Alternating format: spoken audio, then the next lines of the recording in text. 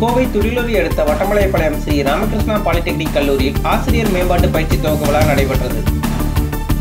கோவை துடிலூர் அருகே வட்டமலைப்பாளையத்தில் உள்ள ஸ்ரீ ராமகிருஷ்ணா பாலிடெக்னிக் கல்லூரியில் அகில இந்திய தொழில்நுட்ப கவுன்சில் அடல் அகாடமி சார்பாக கல்லூரியில் கம்ப்யூட்டர் துறையில் cyber security and digital forensic என்ற தலைப்பில் ஆசிரியர்களுக்கான மேம்பாட்டு பயிற்சி ஒவ்வொரு தலைப்பினையொட்டி ஆறு நாட்கள் நடைபெற உள்ளது.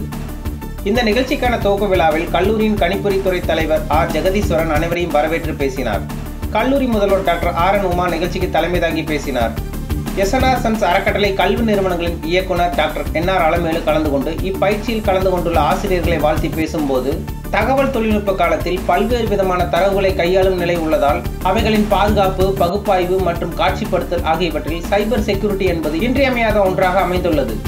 இத்தகைய தொழில்நுட்ப தகுதிகளை ஆசிரியர்கள் வளர்த்துக் கொள்வதோடு அவைகளை திறம்பட கையாளவும் போதிய அறிவு பெறுவதும் அவசியம் என்றார்.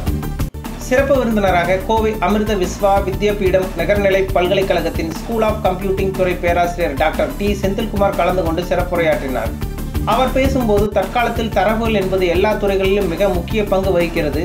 குறிப்பாக காவல்துறை போன்ற அமைப்புகளின் பாதுகாப்பு செயல்பாடுகளில் சைபர் செக்யூரிட்டி மற்றும் தடவியல் சார்ந்த பகுதியில் முக்கிய பங்காற்றுகிறது என்றார்.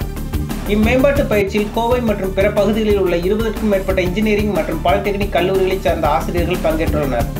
இறுதியாக கம்ப்யூட்டர் துறை விரிவுரையாளர் கோமதி சங்கரி நன்றி கூறினார்.